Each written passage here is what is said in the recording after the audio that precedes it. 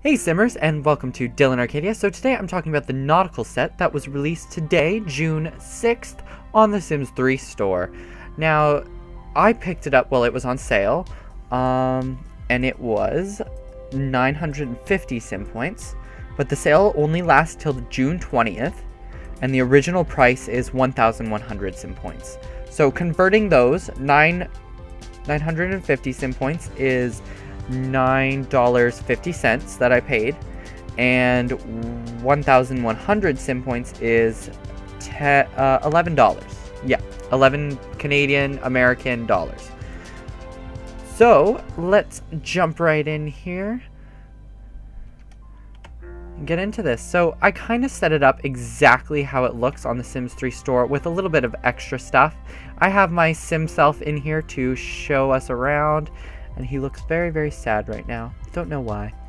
Okay, so I will point out some of the objects that you can get and how you can use them. So right here you have this banister that's actually pretty cool. It's going to look really nice for Island Paradise.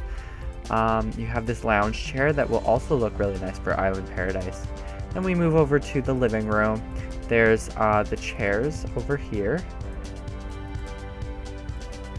So there's a rocking chair right here that comes with it. So you don't need Supernatural anymore for rocking chairs because they have been released in the Sims 3 store.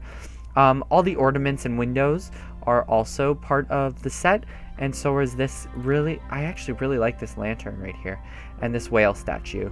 The rest is all just for show, just to show you guys like what um, is there. But what I really like are these little boats. I think the detail on these boats is really cool. And this right here, this knot thing.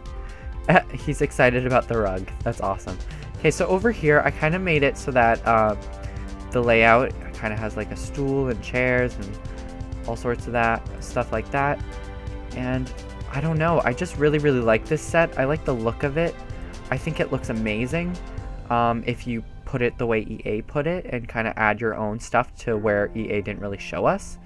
Um, like obviously this would be outside, but since I'm showing you guys, I wanted to put it inside and try kind of incorporate it into this.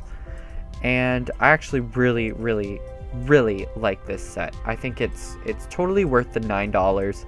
Um, maybe there could have been a little bit more stuff, but it's a lot better than most things that I usually see, which is great. Like I know, I think I'm to use this set a lot. So with that being said, again, you can get it on the store right now for nine, uh, 950 sim points um, on sale until June 20th. The original is 1,100 sim points, and this could be used in Island Paradise. That's why I got it, because I thought it would be amazing. Now, there's something else that I wanted to talk to you guys about. Ooh, here's our university guy.